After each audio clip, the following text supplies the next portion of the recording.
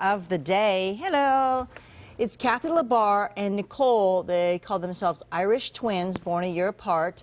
Nicole likes to say good morning on the bike trail to every single person they pass by, and uh, she's called the Parkway Greeter. Well, there you go. There are 5 a.m. Club members of the day. Thank you for hanging out with us. You too can be a member. Send your picture in if you're not shy. 5 a.m. Club at KMXTV.com or the 5 a.m. Club Facebook page. Back Guess to what? you. I need Cody to come back. I'm giving you way too much